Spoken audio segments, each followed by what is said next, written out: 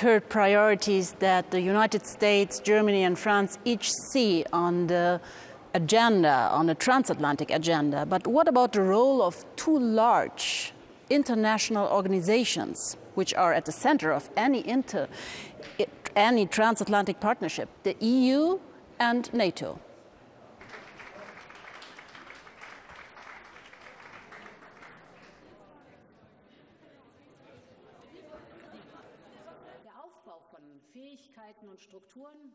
Wir leben in einer Welt, in der es auf Partner ankommt.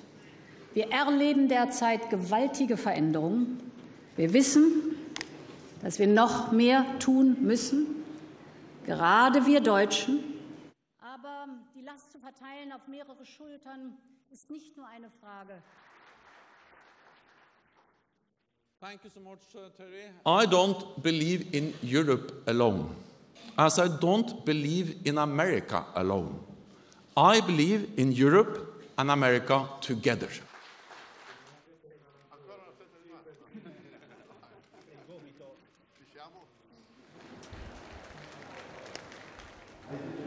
Next segment of our program is devoted to the European Union and to NATO, the key defining institutions uh, that help us navigate through the crisis of the past and of the future. It's my great pleasure now to welcome the President of the Commission of the European Union, Ursula von der Leyen, who has, in fact, participated in every single Munich Security Conference since 2014.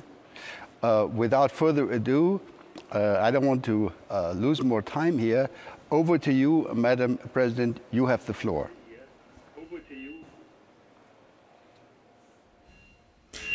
Thank you so much, lieber Wolfgang Ischinger. Ladies and gentlemen, indeed, I vividly remember how two years ago Joe Biden promised at the Munich Security Conference, we will be back.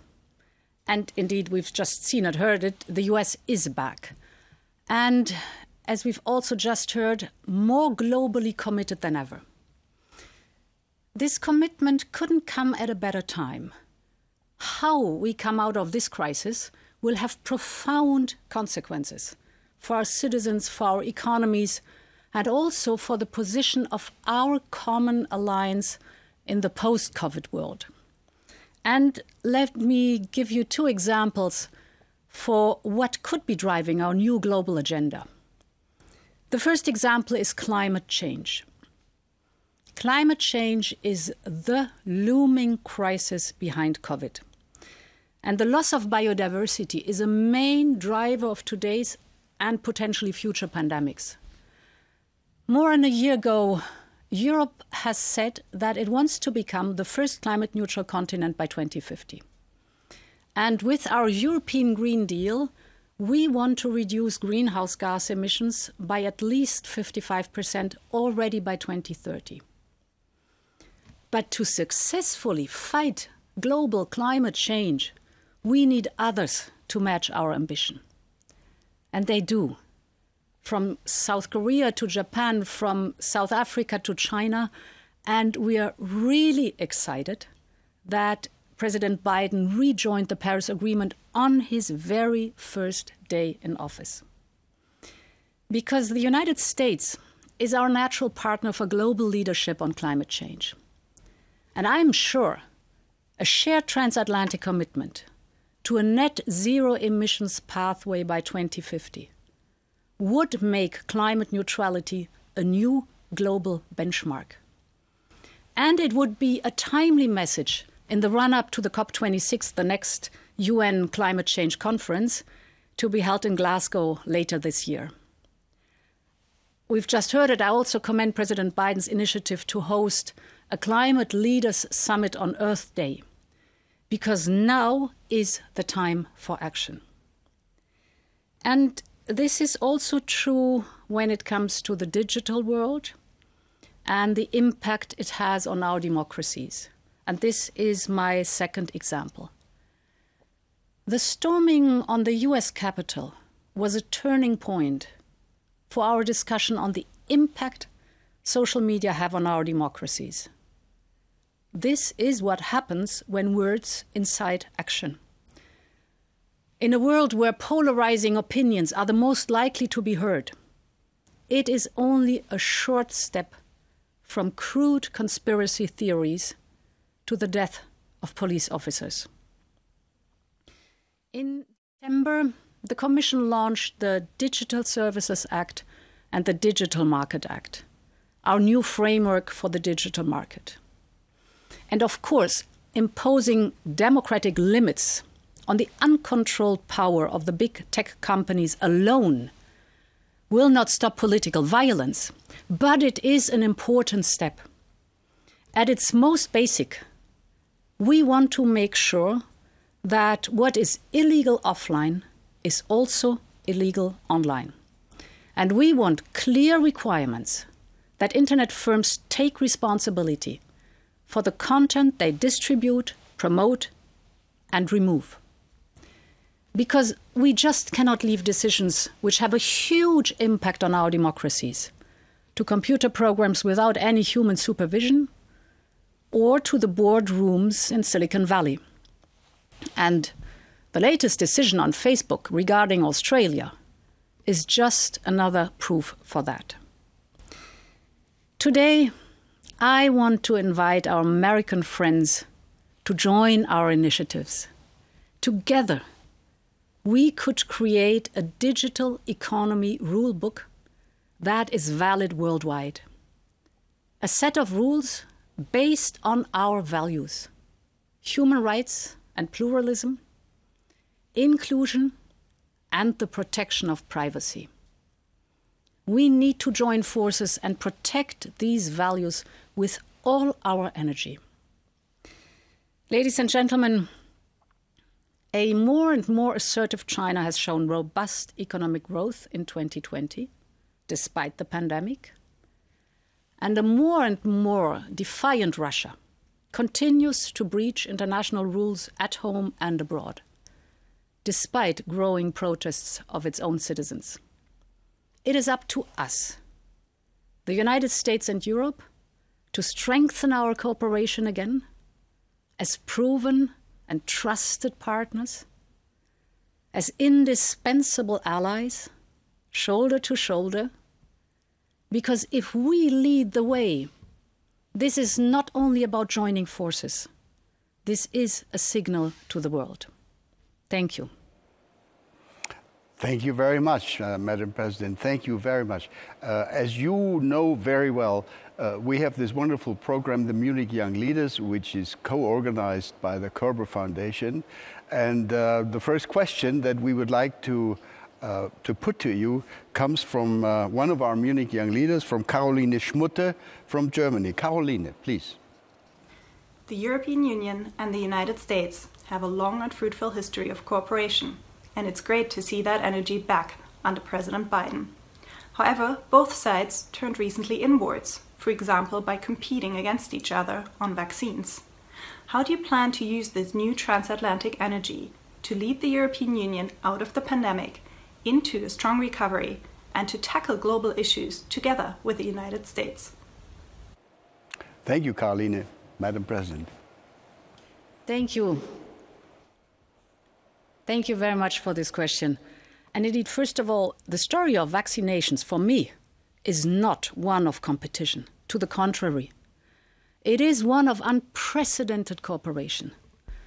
You might remember last year, Europe convened two pledging sessions with a result of 16 billion euro to fight COVID. And we were joined by more than 40 countries, but also by NGOs like Global Citizen, and uh, foundations like the Bill and Melinda Gates Foundation or the Wellcome Trust, for example. And together, together with WHO, we put in place the ACT Accelerator and COVAX. You all know the facility where high income countries finance access to vaccines for low and middle income countries. And just two hours ago, at the meeting of the G7, we doubled our funding to COVAX, and it was exciting to see the pledging of the United States. Indeed, the United States are back. And uh, Europe is also the continent, that's the second aspect, that produces and exports the most vaccines to the rest of the world. So this also shows that we are walking the talk.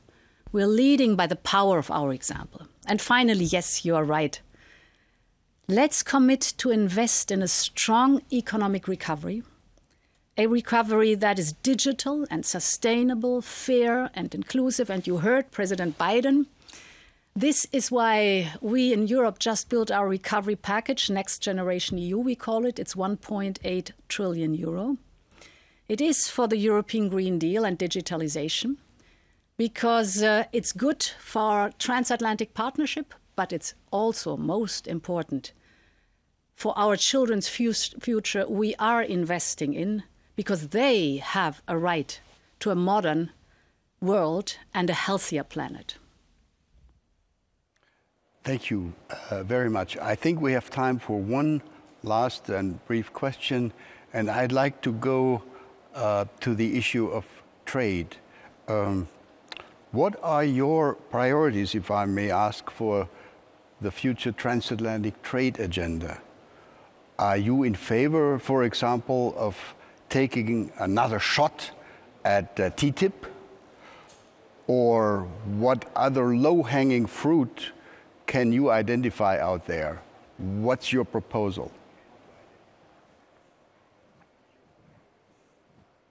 Well, trade is a wide subject um, where we are um, having many trade agreements worldwide.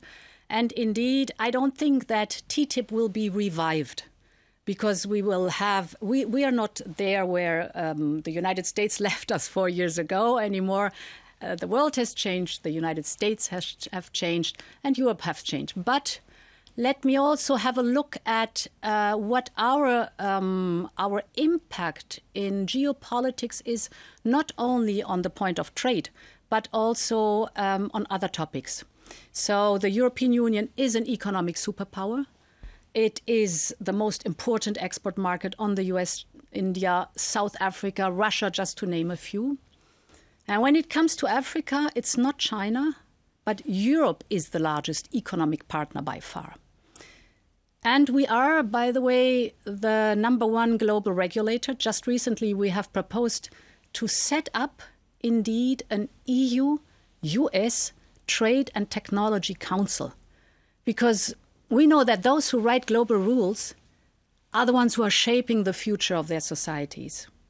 And you heard the president. None of us wants, none of us wants China to do this for us.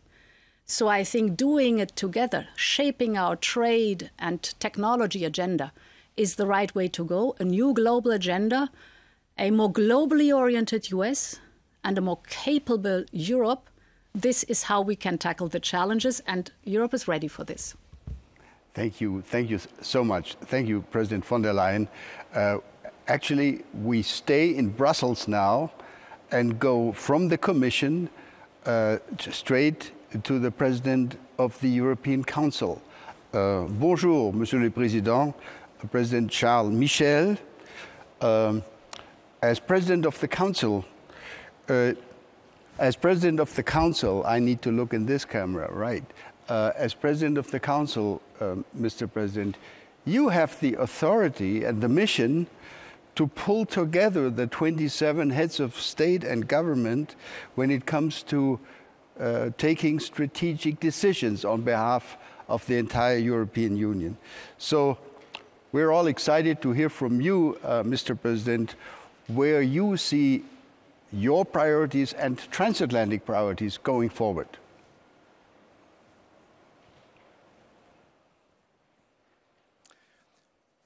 First of all, I want to thank you, Ambassador Ischinger, it's a great initiative to bring together again transatlantic partners to discuss the great challenges ahead. In the last 75 years, the relationship between Europe and the United States has been the backbone of the rules-based international order.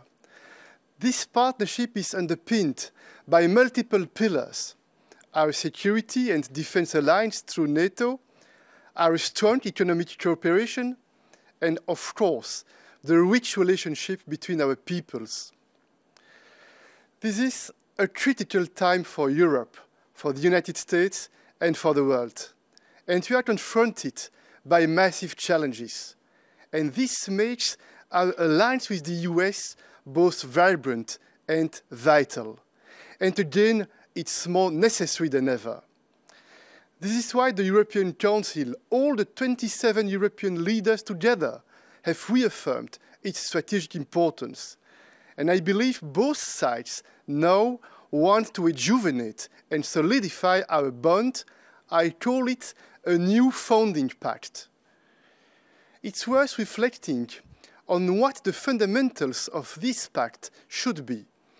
I sum it up in three words values, prosperity, and influence. First, our values. Together, our values are those of the free world human dignity, democracy, freedom, and the rule of law. These values represent the cornerstone of our relationship. If our relationship went through four bumpy years, it was not because of differences of views or interests. These are normal. Rather, it was because respecting rules and respecting agreements were no longer a given. And that's why we appreciate the commitment expressed by President Biden. We will lead not merely by the example of our power, but by the, by the power of our example. It's precisely when we respect our common values, when we respect each other as equal partners, that we can resolve our differences.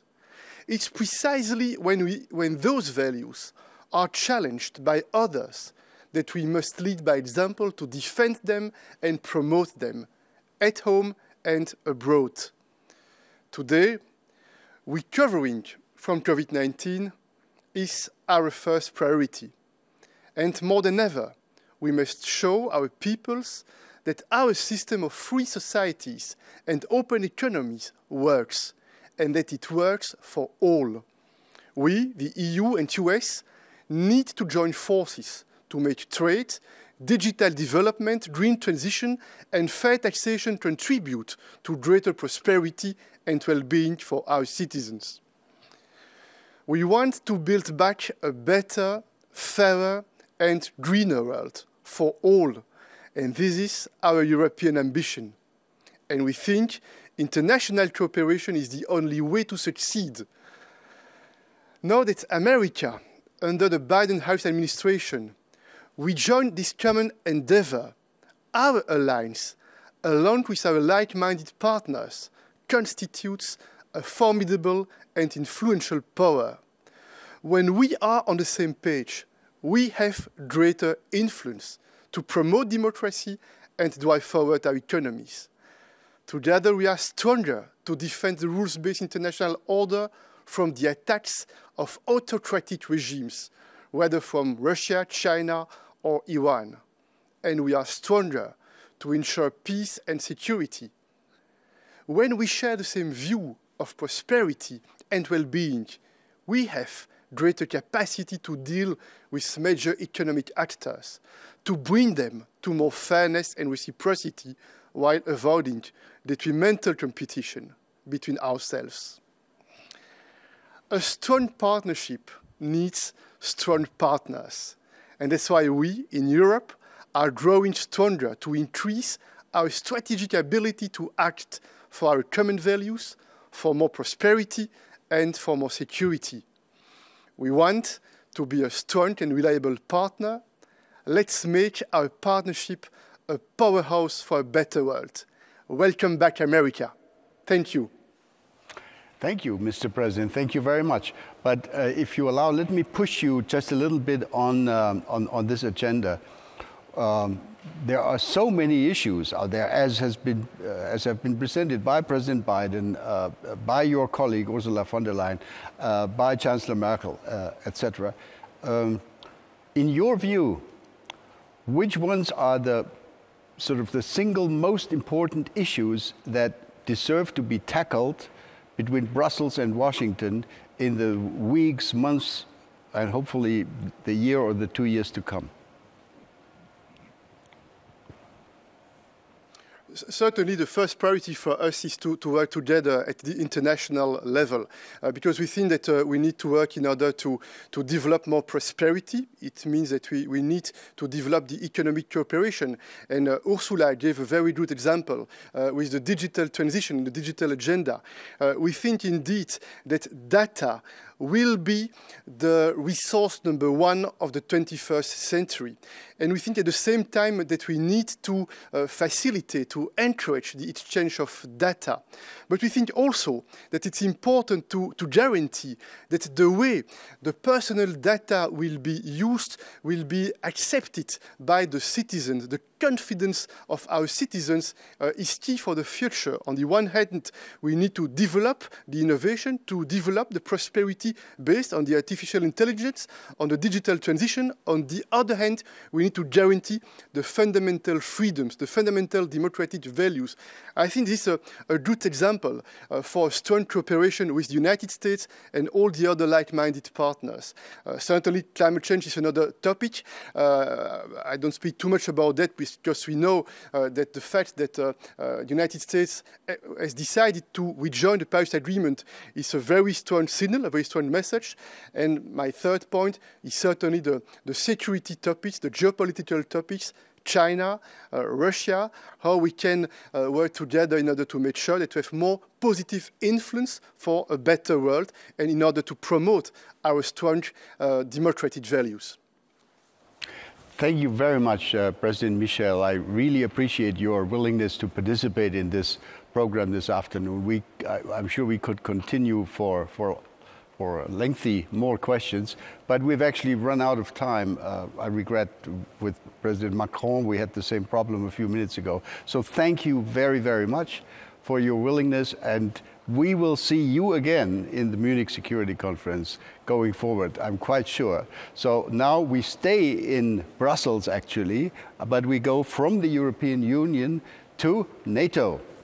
And um, uh, it's my pleasure to welcome a good old friend, if I may uh, call him that, of the Munich Security Conference, the Secretary General of NATO, uh, Jens Stoltenberg. Welcome, Jens. I'm delighted that you uh, uh are able to join us also today in this rapid fire program. Uh, you've just hosted NATO defense ministers with the new US uh, Secretary of Defense in his first appearance at NATO. So very exciting things are going, uh, are going on. Please, Jens, share with us your vision for the future. Thank you so much, uh, Wolfgang, for that uh, kind introduction. I, I, and I'm really delighted to be part of this uh, special edition of the Munich Security Conference at an important juncture in transatlantic relations. We have heard from President Biden and from European leaders, uh, and I look forward to hosting them at our NATO summit in Brussels later this year to set a new transatlantic agenda. In recent years, we have seen differences between Europe and North America, with serious questions asked about uh, the strength of our alliance on both sides of the Atlantic and competing visions of the transatlantic relations. We now have an historic opportunity to build a stronger alliance, to regain trust and to reinforce our unity. Europe and North America working together in NATO, in strategic solidarity. Because we are facing great challenges. The rise of China, sophisticated cyber attacks, disruptive technologies, climate change, Russia's destabilizing behavior, and the continuing threat of terrorism.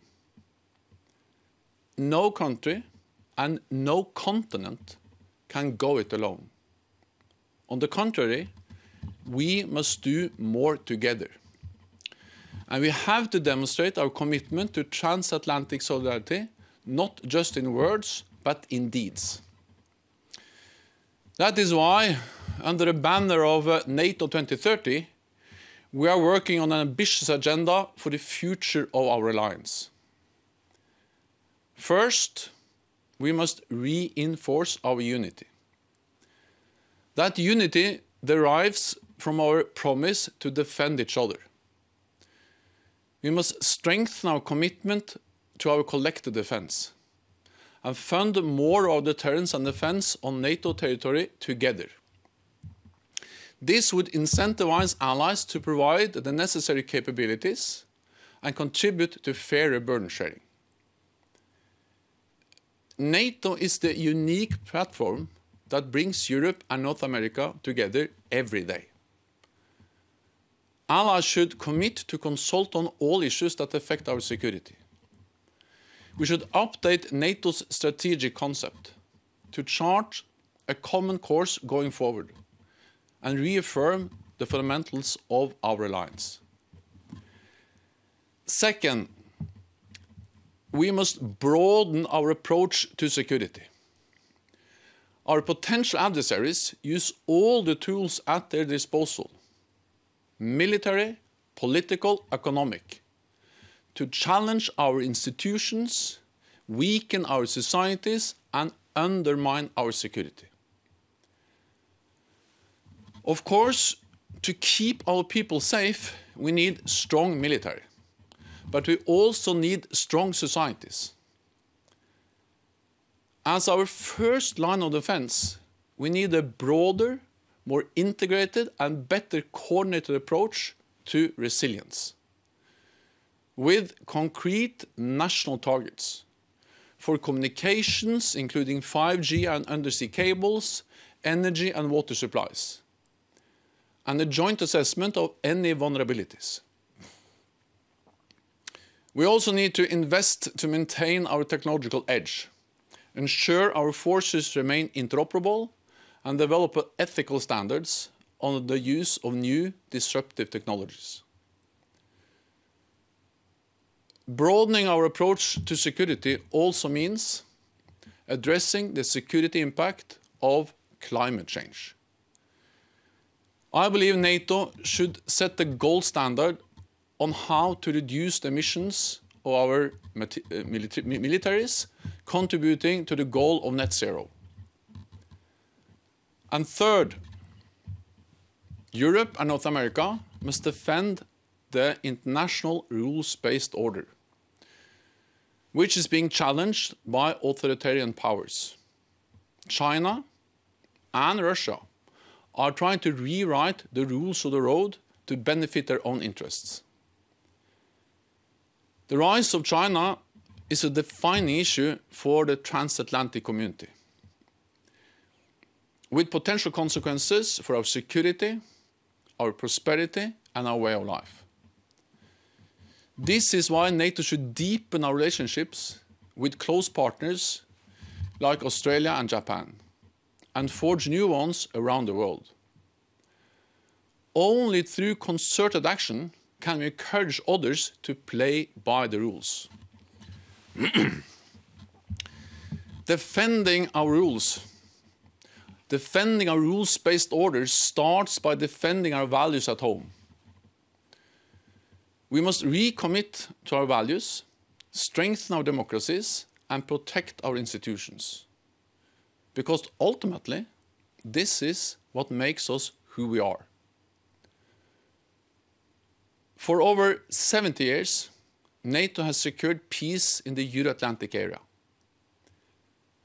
Despite evolving challenges and changing political winds, our transatlantic relationship has not only endured, it has flourished. This is a testament to the values we share and to NATO, the embodiment of our transatlantic bond. We all have a responsibility to seize this moment, to strengthen that bond, and to keep Europe and North America together in strategic solidarity. Thank you. Thank you very much, uh, Mr. Secretary General. Um, I know you are familiar with our Munich Young Leaders group, and you will probably not be surprised that we have young leaders even at NATO. Um, the first question, therefore, will be asked by one of our young leaders who happens to be working at the Polish mission uh, to NATO. This is my friend uh, Dominik Jankowski. So, Dominik, uh, uh, why don't you go ahead and ask your question? Secretary General, in the era of great power competition, NATO needs friends and partners. But the alliance will face all the new threats. How should NATO adapt its military posture until 2030 in order to deter the challenges and threats of today and tomorrow? Secretary General, please. Well, NATO has already implemented the biggest reinforcement of our collective defense in Europe with the new battle groups in the eastern part of the alliance, including in uh, Poland. Uh, we have uh, increased the readiness of forces, and uh, allies are, after years of cutting defense spending, all allies are now investing uh, in uh, more. Uh, we need also to make sure that we uh, maintain our technological edge. So anything we can do on innovation, uh, on understand the full impact of art artificial intelligence, quantum computing, autonomous weapon systems for our security is of course also about our collective defense uh, in uh, Europe. I think the most important thing is that we stay committed to Article 5 and sending a very clear message to any potential adversary that an attack on one ally will trigger the response from the whole alliance. And that's exactly we do, uh, what we can do by further strengthening our collective defense uh, in Europe. Thank you very much. Second question comes from another young leader. Uh, Kati Piri is actually a member of the European Parliament. Uh, she's from the Netherlands. Kati, your question, please. Secretary General, Disinformation has emerged as a crucial challenge to our democracies. Certain state actors, including Russia and China, have made use of the uncertainties of the COVID 19 pandemic to actively undermine faith in NATO and the European Union, governmental institutions, and the democratic system. Now, what actions should NATO member states take to ensure the integrity of their democracies? And what additional action could be taken at the level of NATO? Secretary General, please. Well, I think the use of disinformation is just one example of how our adversaries are using the whole range of the tools for their disposal military means, economic means, political means, but also uh, disinformation. And uh, of course, we need to respond to that. Uh, by, uh, by focusing more on the resilience of our societies.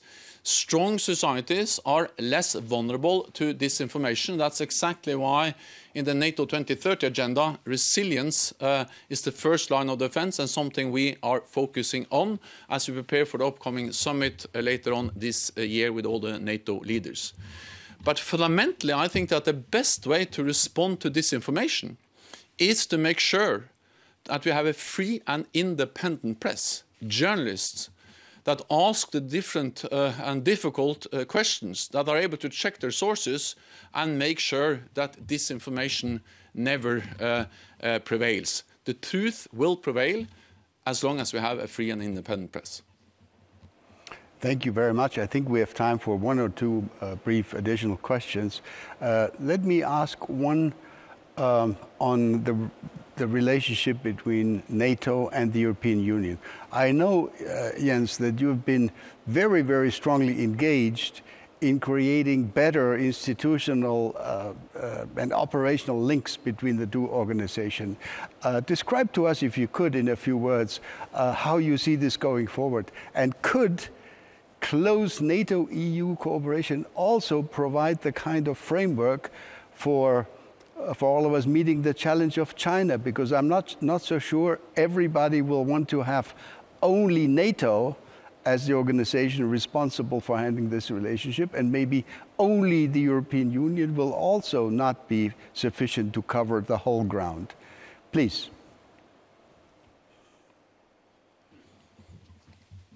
Over the last years, we have been able to lift the cooperation between uh, NATO and the European Union up to unprecedented levels, and I really welcome that.